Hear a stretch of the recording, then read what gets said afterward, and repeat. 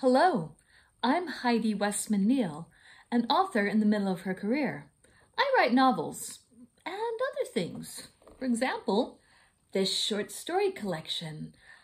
There's three stories in here and it's free online. Go get yourself an ebook.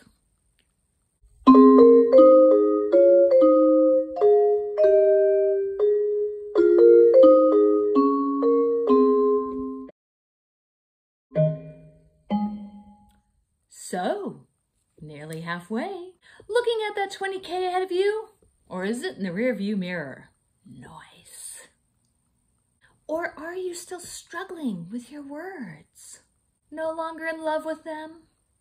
Finding them tedious and lackluster? Here's some sentence level tips that will help you improve your writing and make you feel better about the novel you're creating.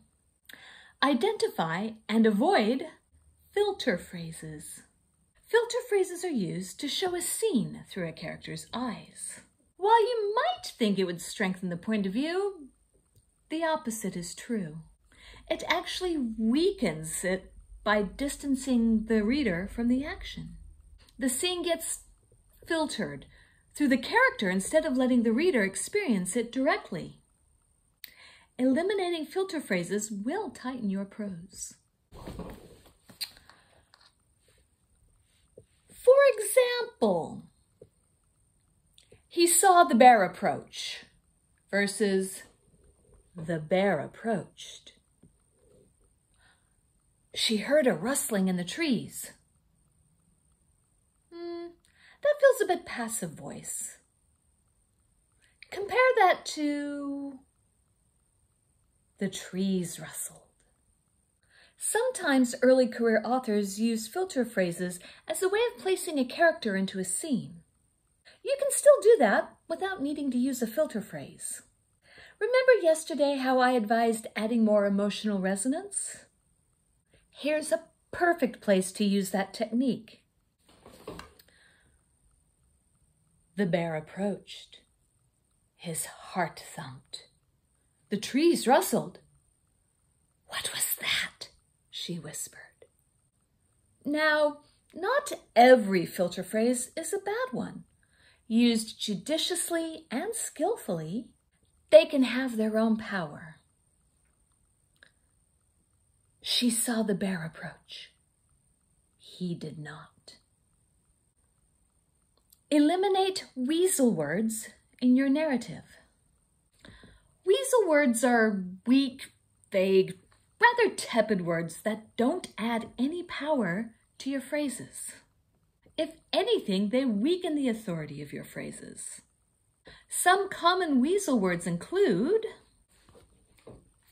basically, just, very, quite, so, relatively, probably. You can find lists of weasel words online Probably find a lot more. Sort through them and see if any of them sound mm, a little too familiar. What's a good way to discover if you use too many weasel words in your book? Use a word counter.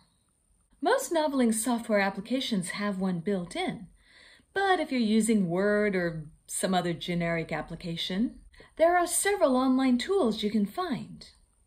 It'll tell you how many words you've got and what kind.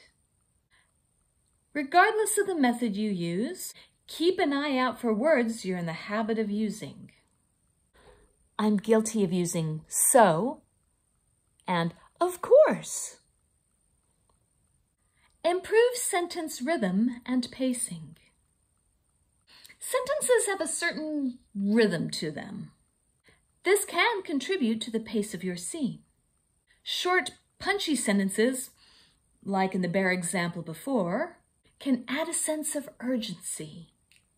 Long, languid sentences, especially ones that indulge in complex phrasing, can add a sense of luxury and beauty, but if used in overabundance, can be burdensome, weighing down the pace of a scene. This can be balanced by a combination of long and short.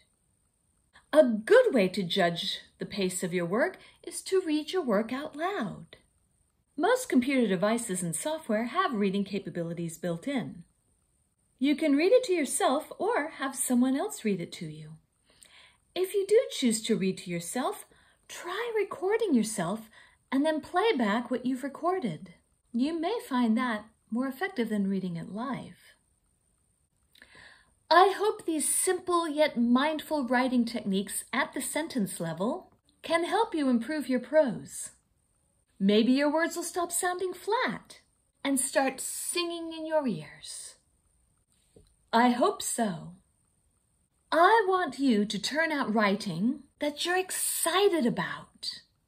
I know it might feel like you're getting into a long slog, but I promise you, it's worth it.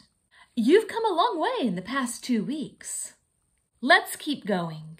Do your best to write every day. Feel free to comment below on how you're going. Keeping up? Struggling? I want to hear. And I will see you next time for tomorrow's pep talk. Novel in November, pep, pep, pep, yeah, talk by Heidi Wessman. Let's try that one more time. Ready? Mm, mm. Oh, yeah. Adult sized pop rocks. Mm.